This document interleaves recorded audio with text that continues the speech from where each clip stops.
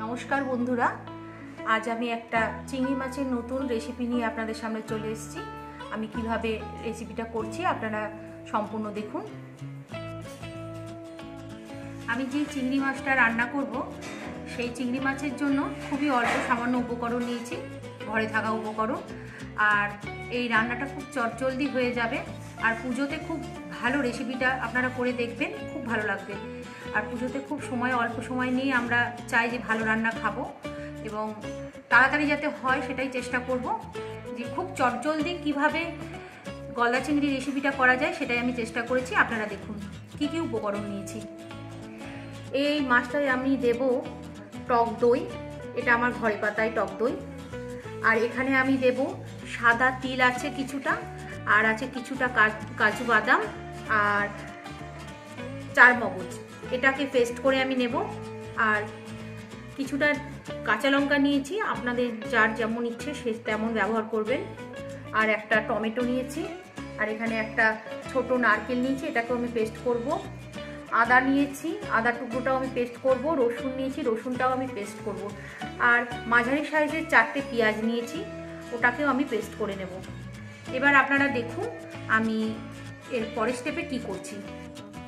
আমি এবার ফার্স্টে প্রথমে আমি যেই চার মগজ তিল আর কাঁচা লঙ্কা আর কাজু বাদাম আর টক দই দিয়ে পেস্ট করে রেখেছি, সেই পেস্টটা আমি এই কড়াইয়ের মধ্যে দিয়ে দিচ্ছি। এরপর আমি যে নারকেলটা বেটে রেখেছিলাম একটা, পুরো পেস্ট করে সেটাকেও আমি দিয়ে দিচ্ছি। আর একটা টমেটো পেস্ট করে রেখেছিলাম, সেটাও আমি দিয়ে দিচ্ছি। এবার আমি চারটে পেঁয়াজ পেস্ট করে রেখেছিলাম, সেই পেস্টটাকেও আমি দিয়ে দিচ্ছি।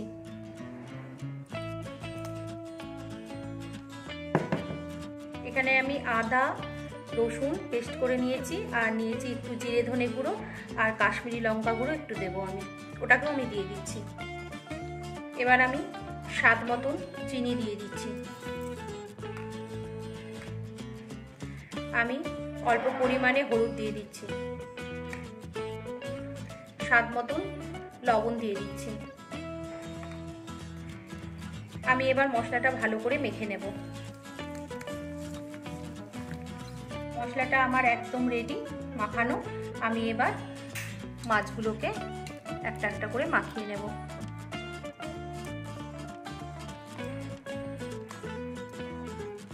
এই মাছগুলো সুন্দর করে আমি এবার মাখিয়ে নেব।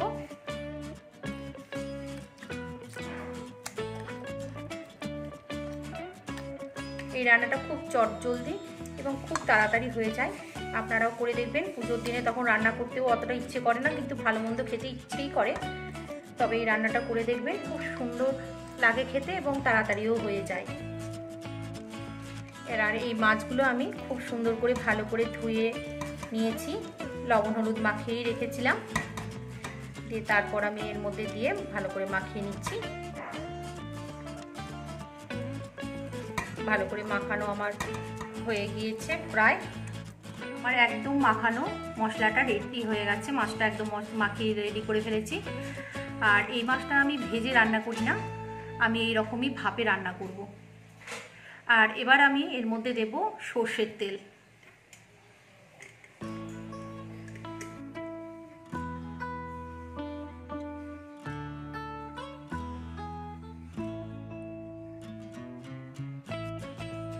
আমার গ্যাসটা চলিয়ে দিয়েছি। আমি এবার এই মাছটা নিয়ে চলে এসেছি। আমার একদম রেডি মাখানো, আমি গ্যাসের উপরে বসিয়ে দিলাম। আমি এবার একটু বাড়িয়ে রাখব, তারপর আমি কমিয়ে দেবো, দিয়ে ঢাকা দিয়ে দেবো গ্যাসটা। একটু আগে বাড়িয়ে আমি এপিট ওপিট করে মাছটা। আমার মাছটা একদম ফুটে গেছে, হয়েও গিয়েছে। আমি এবার একটু নাড়া দিয়ে দেব। এরপর আমি একদম গ্যাসটা লো ফ্লেমে করে দেব। লো ফ্লেমে করে দিয়ে আমি মাছটাকে ঢাকা দিয়ে দেব পনেরো মিনিটের জন্য।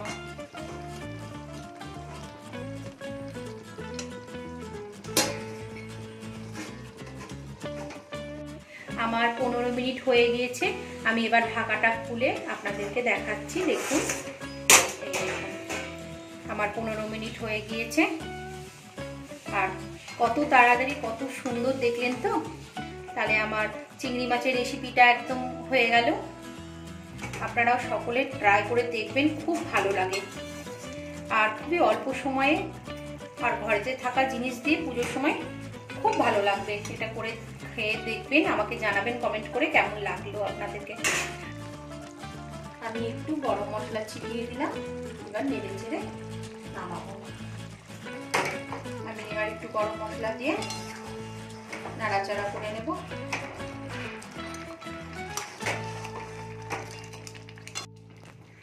এই দেখুন বন্ধুরা, আমি গরম মশলা দিয়ে আবার একটু ঢাকা দিয়ে রেখেছিলাম। আবার একদম রেডি আমি এবার সার্ভ করে আপনাদেরকে দেখাচ্ছি। এই দেখুন বন্ধুরা, আমি একদম সার্ভ করে দিয়েছি। তাহলে দেখলেন তো, কত সহজে আর কত তাড়াতাড়ি আমি তৈরি করে ফেললাম এই চিংড়ি মাছের রেসিপিটা। আপনারাও সকলে বাড়িতে ট্রাই করে দেখুন। আর পুজোর দিনে এত চটজলদি রান্না করতে সকলেরই ভালো লাগবে। আর সবাই তো একটু ভালো মন্দ খেতে ভালোই বাসে পুজোর সময়। আর সময়টাও বাঁচবে। আপনারা সকলে ট্রাই করে দেখবেন আর কমেন্ট করে জানাবেন যে কেমন লাগল। নমস্কার বন্ধুরা, পরবর্তী রেসিপি দেখার জন্য অনুরোধ থাকল।